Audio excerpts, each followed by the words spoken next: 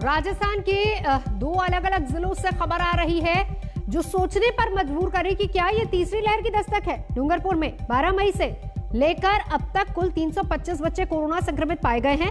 वहीं दौसा ज़िले की बात करें तो यहाँ भी 1 मई से 21 मई के बीच में 341 बच्चों को कोरोना ने अपनी चपेट में ले लिया है।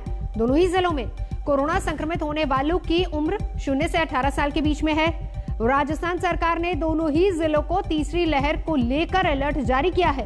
वहीं बच्चों के लिए वार्ड और उनके इलाज के लिए पुख्ता इंतज़ाम करने के निर्देश दे दिए गए हैं।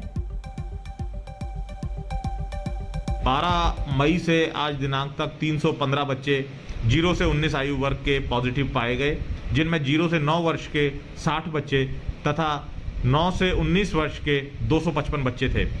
सभी बच्चों को दवाएँ दे दी गई हैं तथा ये हमारे बेहतर सर्विलेंस, बेहतर मॉनिटरिंग और जाँच जांचों के कारण संभव हो पाया है।